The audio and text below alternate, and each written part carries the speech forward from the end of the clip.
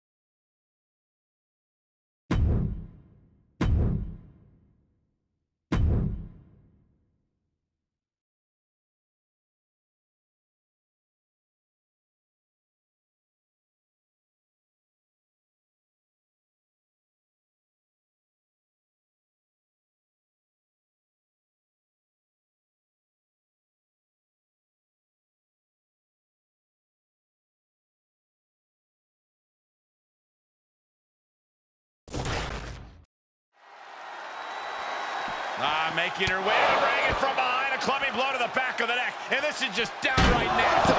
An all-out assault. Well, clearly she doesn't plan on actually having a match. What a vicious and calculated attack. Those are very fancy ways for you to say intelligent, Cole. And so there's the ball, but I don't know how much of a match we're in for after that sneaky assault that took place during the entrances. Just overexcited for this match, that's all. They couldn't stand to wait until they actually got in the ring. Or it was a calculated plan to get the advantage. Well, I guess we'll just never know. Uh, head scissors. Round we go. Head scissor. Ah, look at this. Hair pull mat slam. What a forearm. A striking blow.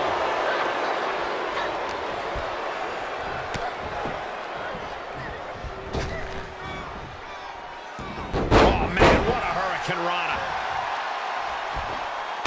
Man, It's incredible the inventiveness we are seeing on display here. oh man, by the hair. Hair whip. I honestly can't believe we just saw a human being tossed like that. What is the key to Katana Chance's success tonight, Corey? It's the same thing that's always made her successful, Cole. Chance has incredible conditioning. It's hard to overcome someone who has been a top athlete their whole life, and Chance has maintained that level of process in every endeavor.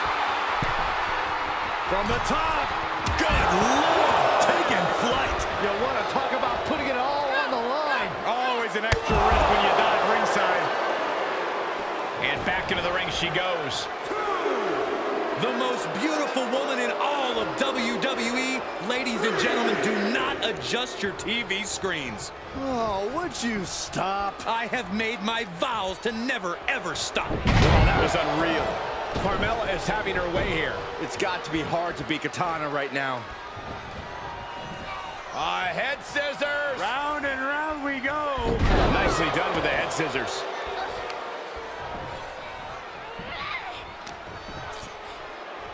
Uh-oh, uh-oh. Picked up.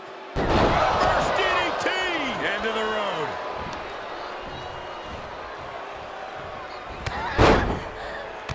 Super kick. Super kick.